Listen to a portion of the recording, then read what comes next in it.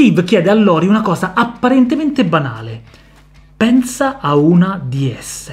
Pensa se fosse qui in questo momento, se stesse volando qui nella stanza. Lori ha un brivido, trema, sorride nervosamente, scuote la testa. Steve la distrae, dà una spiegazione al pubblico e poi le fa un invito e le dice guarda me, guarda la gente qui attorno, guarda me, dammi la mano. Parla ancora un po' con lei, la tranquillizza, poi riprende. Ok, l'intera procedura è davvero semplice, non ti sentirai male, profetizza. Prima però ho bisogno di un attimo di preparazione. Immagina di essere a un cinema, chiede. Voglio che abbia un'immagine della scena, un'immagine di te seduta al cinema, in bianco e nero. Ci riesci? Lori annuisce. Ora immagina di galleggiare fuori dal tuo corpo, di galleggiare e arrivare fino a dietro, dentro la sala di proiezione. Riesci a immaginarlo?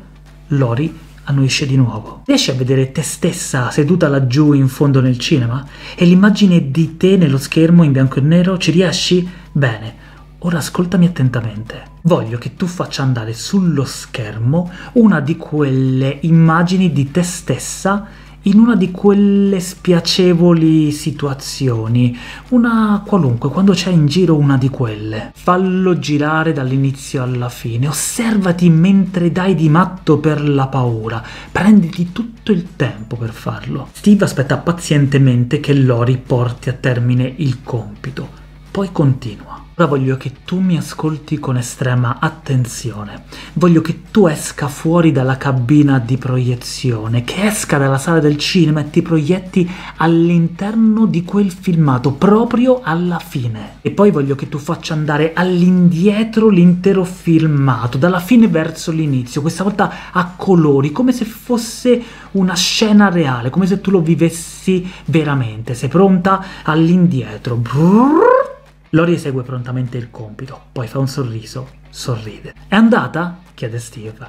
Bene, facciamolo un altro paio di volte. Più che un paio Steve glielo farà ripetere diverse volte, sempre più veloce. In tutto il processo durerà circa 7 minuti. Alla fine, di fronte alla platea, dopo una breve spiegazione, Steve farà immaginare a Lori che entri una di quelle proprio dentro la stanza. Chiede di immaginare che venga verso di lei volando, che si posi sul suo braccio e che inizi a camminare su di esso. Come va? Ce l'hai ancora la fobia? Lori esclama sorpresa.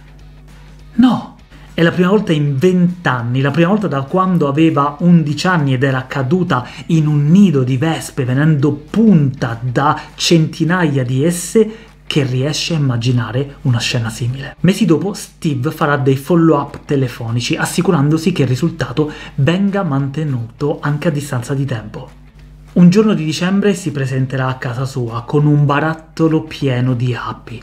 Lo apriranno insieme, le guarderanno volare via, ronzare attorno a lei e Lori si limiterà a sorridere mentre quelle si allontanano. Questo è sicuramente il caso più famoso di Steve Andreas, maestro di PNL recentemente scomparso. Se mi conosci lo sai, io non amo la PNL. La trovo infondata su molti principi, spesso aneddotica e spettacolarizzata e spesso purtroppo molti, non tutti, dei suoi fautori sembrano piuttosto dei fanatici manipolatori. Ma ci sono dei casi e dei principi interessanti che decisamente ha portato all'attenzione dei più e questo è un caso interessante. Più unico che raro, come disse lo stesso Andreas, perché questo tipo di procedura può essere usata solo in casi molto specifici, per esempio non è utilizzabile con l'agorafobia. Eppure interessante perché rivela la possibilità con semplici e accurate manovre